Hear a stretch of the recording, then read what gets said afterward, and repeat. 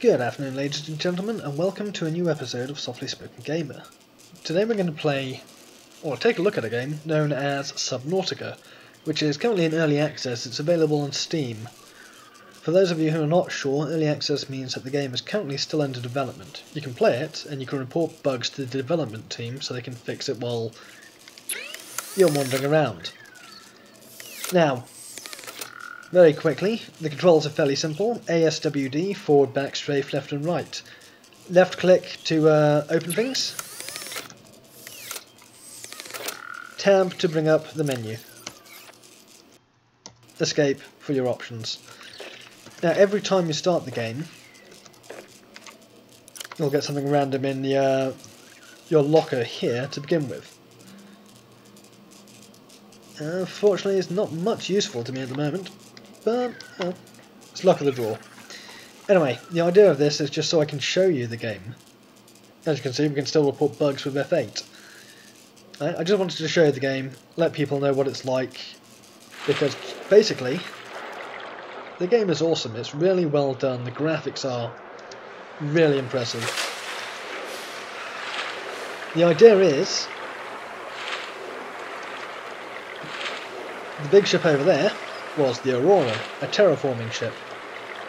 A pulse hit your ship while it was in orbit, coming down to terraform the planet, and knocked it out of orbit. You're the only survivor in an escape pod which is currently damaged. Now the idea is that we have to grab enough resources to build ourselves habitation underwater,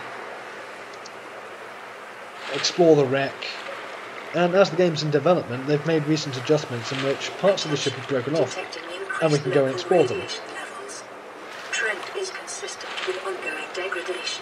Aurora's dark matter drive core due to damage sustained. And the drive core is going to explode. Awesome. As you can see from the bottom left, I have um, I have to find food and water to sustain myself while I'm swimming around picking up the kit I need. Makes it slightly more difficult. Right, come here, you. Fish. Boomerang fish for food. Okay, there's a whole bunch of resources and things that you have to get in this game in order to, pro to progress. So let's point these out while I can see them. These little cubes are salt. Salt is used for making magnesium, which you can use for, say, flares and for uh, a welding gun. Ten seconds of oxygen remaining. Oh. You also have to be careful about the amount of air you've got left as well. Uh, you can build air tanks and flippers and things, which we're going to do in a second. I'm also going to try and keep these videos fairly short. Nobody wants to sit and watch someone else swim around, albeit in rather beautifully detailed locations, and play a game where you could play it yourself and explore. So I'll just show you the basic points while I'm here. There'll be bits of uh, the ship broken and scattered round, Pick that up with a left click. It's titanium, which is a metal you're going to need to use. These crystals are quartz. You can use them to make both glass and silicon Emergency. rubber. Ten seconds of oxygen remaining. Yeah, yeah, yeah, fine. Apparently your guy needs to breathe occasionally. You know, bit of a downer, but at least it's realistic. Different types of fish will give you different things. The boomerang fish I've picked up will give you some food and some water. Ah, there we go, limestone. These things are scattered all over the place. Break them open with a left click and they hold different things. That one held titanium. Weird thing for limestone to hold, but yeah, there you go. Strange planet. Acid mushrooms. Mixed, uh, used with copper, you can make batteries, which will of course come in handy later on for some of the more advanced equipment that you can get. Emergency. First thing that you're going to need though is plenty of the uh, the crystals, so you can make rubber for new flippers and for glass. You'll need glass and titanium to build an air tank to give you an extra 30 seconds worth of air. The flippers will help you move around faster. Oh, let's see if I can grab a peeper fish. Yeah, got one. Peeper fish, more food. Gary fish. I don't know who named them. Gary Fish. Continued degradation of the Aurora's drive core may cause a quantum detonation. Calculating risk assessment. Death by malnourishment, 7%. By physical injury, 11%. The, the computer Aurora is currently telling me that the ship, that the colony ship's drive has been broken and it's going to explode and nuke the area. probability of Death increases to 65%. Okay, so if I exit this a second, fabricators, you can actually build these later on. Use it to break down the res- resources you've picked up. So all the metal I picked up, I can make titanium out of. Titanium is obviously going to be used to make a whole bunch of different things. From the blade of your knife to uh, the air tank that you need to go to go glass. First thing I need to build though is two bits of rubber, silicon rubber. From that, I can go to personal equipment and build myself a set of fins. I can also build myself an O2 tank with a piece of titanium and glass. These are instantly put into your equipment for you. So if I exit this and go press tab, there we go, there's my O2 tank, and my fins have been attached to me already. Next, back to the fabricator. Sustenance and cooked food. Cooked peeper. Cooked Gary fish. And cooked boomerang.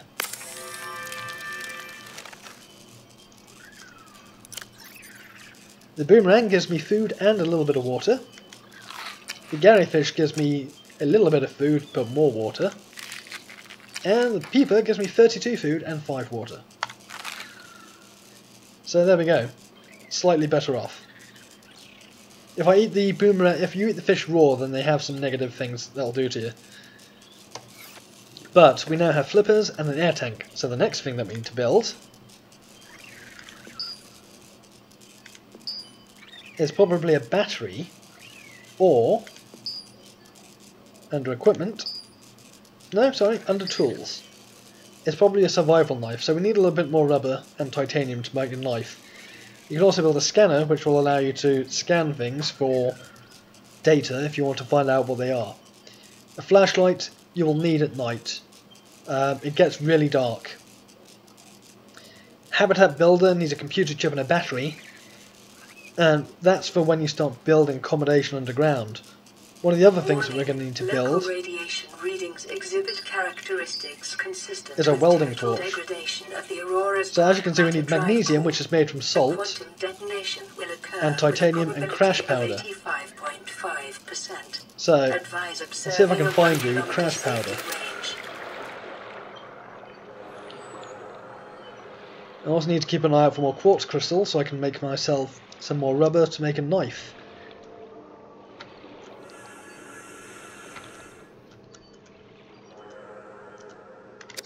Let's grab an acid mushroom. Ah, quartz crystals. Crash powder is found from some sort of suicidal fish.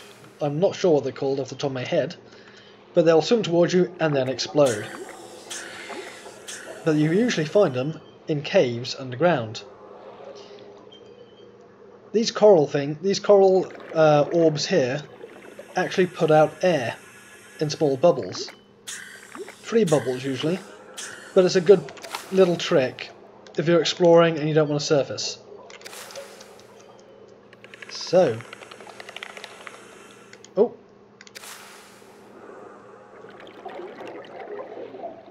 getting dark in here. And I can hear something in the water, but I can't see it. I think it may be these.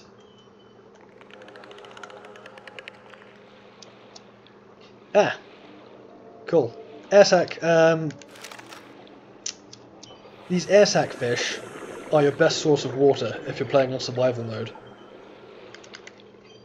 Let's grab another boomerang fish. Come here, you little bastard. There we go. 30 seconds of oxygen remaining. Right, 30 seconds of air left. It's getting dark and it's difficult to see, so I really should. Um, I want another. Emergency. Seismic readings suggest a quantum detonation has occurred in the Aurora's drive core. Oh, this is The not good. central Oh, where's my pod? There it is. seconds of oxygen remain in T minus. Seven. I may have left it too late. The ship is going to explode, and I'm going to pass out from lack of air. Hold on. Oh, that was close. Almost drowned. But I was far enough away from the, the wreck that I didn't get injured in the explosion. As you can see, ladies and gentlemen, there is not a lot of time before the wreck explodes. What it means now is that there's radiation in the water and I can take damage from it. I need to build myself a um, a radiation suit. Right. Air sac fish are the best sort of wa- best source of water for you.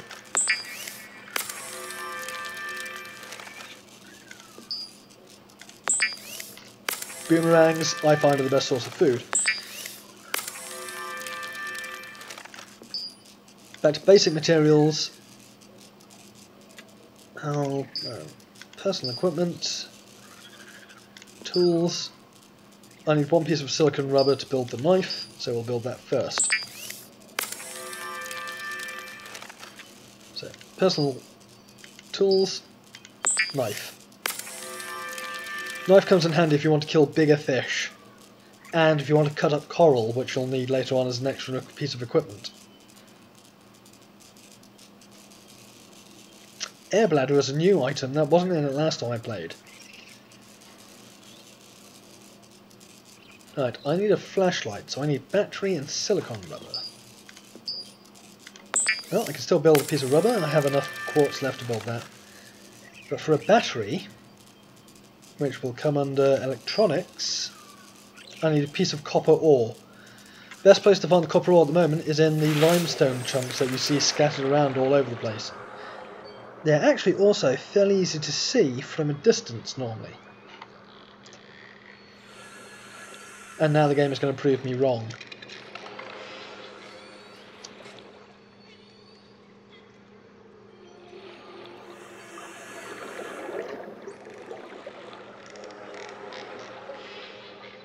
No, I do enjoy playing this game, especially on um, just on creation mode. If you want to build yourself an underwater habitat and just explore what the game has got.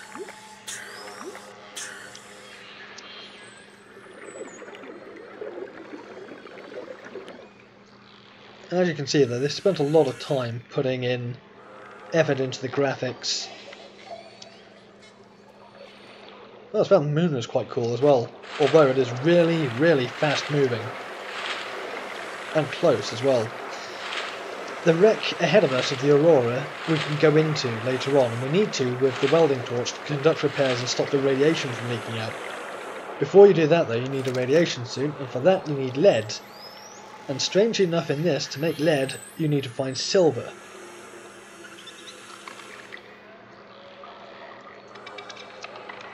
Now, if people are interested in this and watch me play it, then the next time we take a, a brief look at it, we'll have a look and find where there's silver.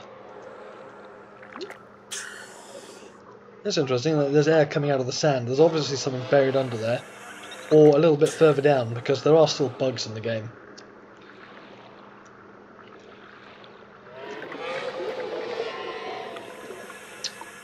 Ah! Some of the bigger fish, I don't know what they're called. You want to avoid them though. If you get too close, they release these glowing pods, which then explode and release poison, know, poison gas maybe underwater. Not good in general.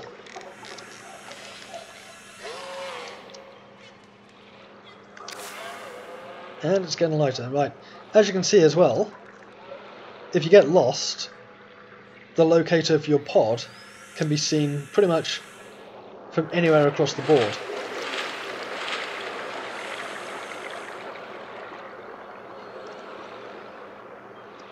Unfortunately, this game is currently messing with me in that I can't find a single piece of limestone to break open. There we go. And we're going to have No, titanium. There we go, copper. My probability of survival has increased 7.6% as the copper is used for powered equipment. Okay, so let's go back to the pod, which is there. Hopefully we have enough to make at least one useful item. Probably the torch. The scanner is only useful if you want to know what the names of creatures are or what they're like or what they do. So, electronics. There we go, I can now build a battery. One piece of co copper and two acid mushrooms to make that. Personal tools. Flashlight. It's really useful at night. And before I sign off for the day, because I only want to keep these quick so you don't get bored. If you hold over it, you can see that it says press 1 to 5 to sign to a quick slot. I see no point in having fish and things attached to quick slots. So I have my knife and my flashlight on numbers 1 and 2.